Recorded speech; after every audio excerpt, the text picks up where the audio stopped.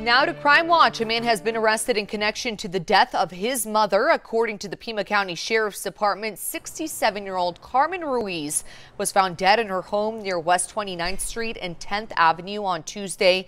Deputies say she had been injured. They identified the suspect as her son, 37-year-old George Valls. He was arrested late yesterday afternoon and he's facing second degree murder charges.